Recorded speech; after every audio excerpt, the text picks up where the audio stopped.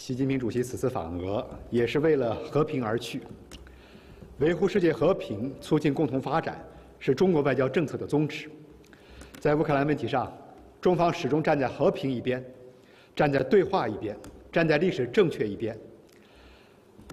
不久前发布的关于政治解决乌克兰危机的中国立场文件，重申了习近平主席此前提出的四个共同、四个应该和三点思考的核心思想。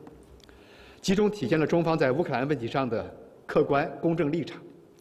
中方的主张归结为一句话，就是劝和促谈。我们始终认为，政治对话是解决冲突争端的唯一出路。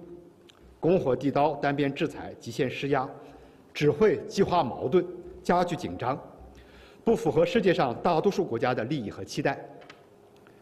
中方将秉持在乌克兰危机等国际地区热点问题上的客观公正立场。继续为政治解决危机发挥建设性作用。